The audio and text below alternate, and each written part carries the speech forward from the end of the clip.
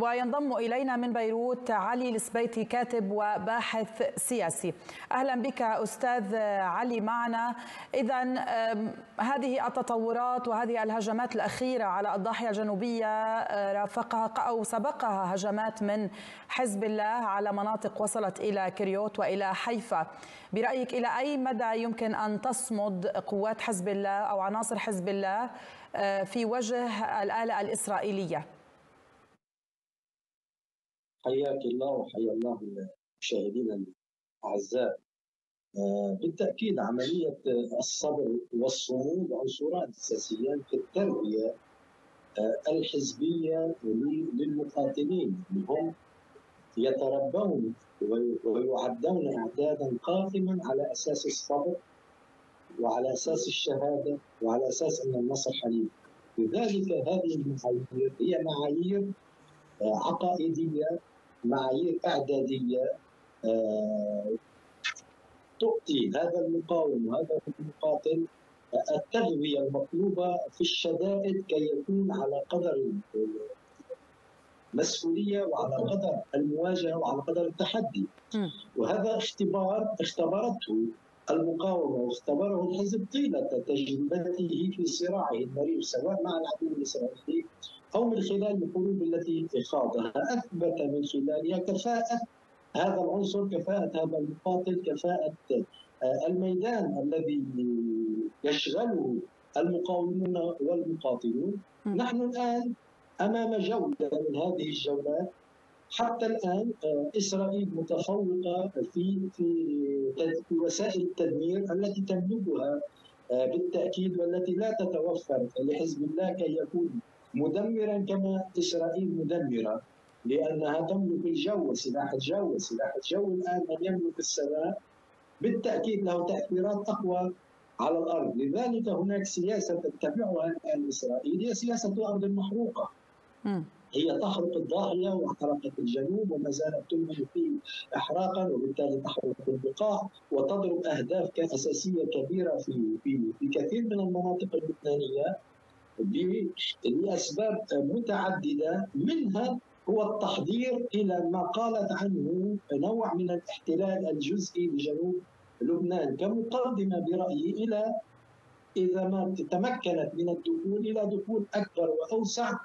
هناك من يقول إلى حدود الليطاني وهناك من يقول إلى حدود الاولي فإذا نحن أمام مشروع إسرائيلي لقدم لبنان جزءا فجزءا نتيجة نتيجه السعي وراء قطع نفوذ حزب الله كما هو معلن. من قبل نتنياهو شخصيا ومن قبل القيادة العسكرية التي قالت بصريح العبارة أنها لن تقف عند حدود تأمين وتوفير الأمن لسكان الشمال فقط بل أنها سوف تقطع دابر حزب الله ونفوذ حزب الله في لبنان.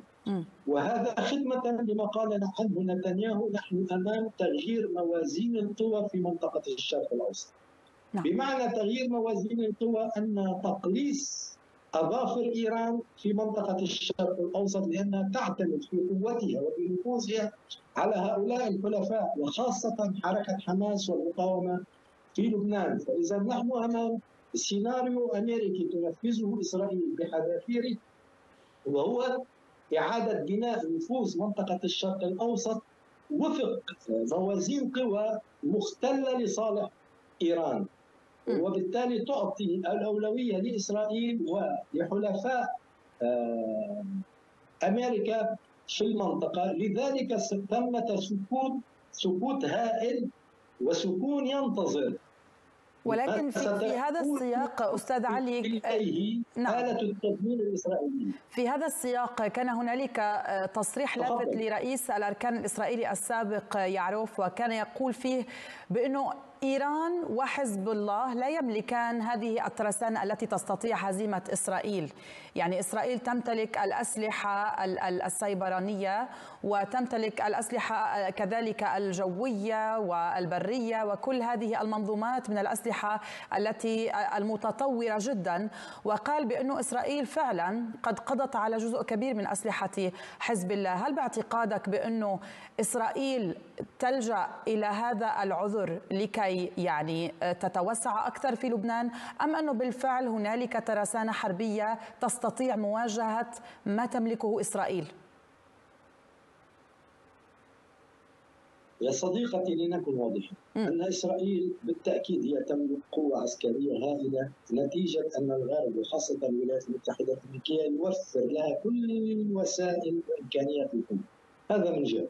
من نعم. جهة ثانية أن المعركة لو كانت هي مع إسرائيل لاكتفى بها اللبنانيون والفلسطينيون. ولكن المعركة ليست مع مع إسرائيل. المعركة هي مع الولايات المتحدة الأمريكية. وبالتالي إيران هربت من هذه المعركة ونأت عنها لأنها تعلم أن هناك 40 ألف جندي أمريكي في المنطقة في البحر المتوسط. وهناك أساطيل موجودة وقادمة. وهذه الحرب هي تريد رأس إيران. إيران لا تستطيع بشكل واضح إيران لا تستطيع أن تواجه هذه هذه الأحزاب مجتمعة. وهذه الدول مجتمعة لا تستطيع. إيران تستطيع لو كانت المعركة فقط مع إسرائيل لكانت الحسابات مختلفة. كما قلت لك لو اكتفى الفلسطينيون في مواجهة آه، الكيان الإسرائيلي. ولكن هناك قوى دولية. قد لا نجد دولة لا تقف خلف دعم إسرائيل. لذلك يهرب منها هذه الحرب التي تريدها إسرائيل والتي تقف خلفها الولايات المتحدة الأمريكية. لذلك ترك المجال أمام المقاومات اي محور المقاومة كي يكون هو آه، حاضرا لمواجهة الاعتداءات الإسرائيلية. وإيران تدعم نعم. هذه المقاومات سواء على الجبهة الفلسطينية أو على الجبهة اللبنانية وبالتالي تعزز من جبهات الاسناد سواء في العراق أو في اليمن أو في سوريا. نعم. هذا المحور هذا هذا إمكانياته يتعاطى وفق هذه الإمكانيات وفق هذه المواجهة مع الكيان الإسرائيلي ضمن ما هو متاح طيب الآن هل ما هو فقد متاح. حزب الله نعم تفضل هل فقد حزب الله م. كما قالت إسرائيل وكما ادعت الولايات المتحدة الأمريكية نسبة عالية ما يقارب ال 50% من قدراته نقول بشكل واضح. نعم أن هناك جزء افتقده حزب الله من جسمه ومن قوته. هذا طبيعي جدا. هذه الاستهدافات ليست استهدافات لبوالين حرارية. نعم. أو هي لأجسام آه، آه، ظلاليه لا وجود لها. طبعا هناك استهدافات طالت هنا. أستاذ علي ولكن أريد أن أسألك في ظل آه، يعني تصميم حزب الله على الاستمرار في هذه المعركة ما الذي نفهمه من ما قاله نائب الأمين العام لحزب الله اليوم الذي قال بأننا أو بأن الحزب يؤيد المسار السياسي الذي يقوم به بري؟ بالتأكيد. يعني بالتأكيد لأن لأن هناك غلط آه، حصل بالشارع اللبناني.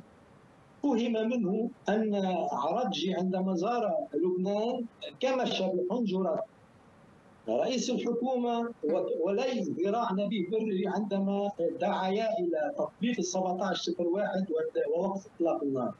لذلك جاء الرد من حزب الله أنه بالعكس نحن نؤيد ما يقوم به الرئيس نبيل بري في هذا المجال. فاذا هذا نفي قاطع من قبل حزب الله إلى أن إيران قالت ذلك. للذين كانوا يشككون بمجيء وبدور آه، الايجابي لعرقجي وزير خارجية إيران قال لهم حزب الله بالعكس نحن نؤيد هذا هذا هذا المأمل وهذا المطمح وهذا الدور ونشد على يد الرئيس نبيه بري في هذا المجال كي ينطلق في موضوع وقف إطلاق النار. ولكن يا حبيبتي لم يعد الموضوع بيد لا الرئيس نبيه بري ولا بيد أحد. حتى بيد لا بيد إيران ولا بيد فرنسا ولا بيد الدول التي تسعى لوقف إطلاق النار. القرار عند نتنياهو نتنياهو لا يريد وقفا لإطلاق النار. نتنياهو يستغل الفرصة السانحة له الذهبية.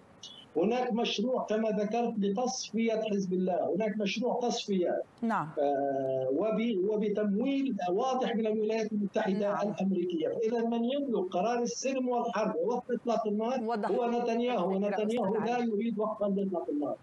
شكرا لك. دهمنا الوقت. اعتذر منك الأستاذ علي سبيتي الكاتب والباحث السياسي. كنت معنا من بيروت.